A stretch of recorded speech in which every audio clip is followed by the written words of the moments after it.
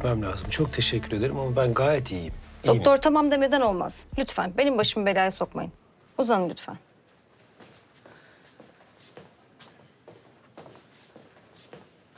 İyi misiniz?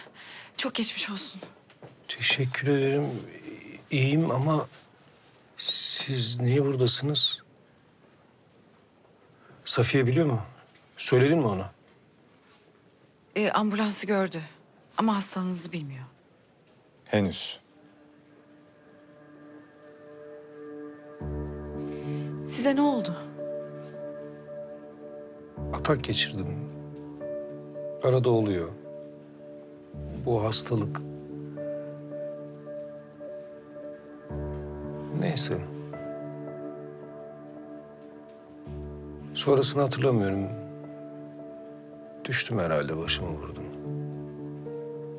O nasıl? Sence? Tam dışarı çıkacağı gündü. O beni o halde gördüyse çok korkmuştur. Allah kahretsin. Gene aynı şeyi yapacak. Ne yapacak? Kendini suçlayacak kazada olduğu gibi.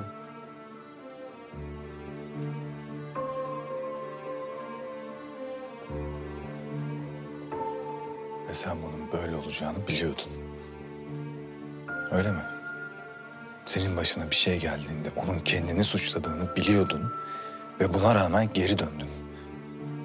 Şimdi daha beterini yaşatacaksın ona. Yaşatmayacağım. Nasıl olacak o iş? Neredeyiz biz şu an?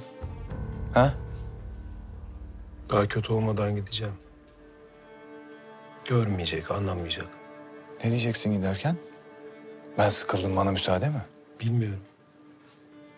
Ama onun kalbini kırmayacağım. Zaten şunu diyebildiğine göre sen gerçekten onu hiç tanımamışsın. Senin ölmenle gitmen arasında onun için bir fark yok. Şimdi gidersen belki çocuğuna gittiğini düşünür ve seni anlar. Ama sonrası onun için yok. O yüzden sen şimdi git.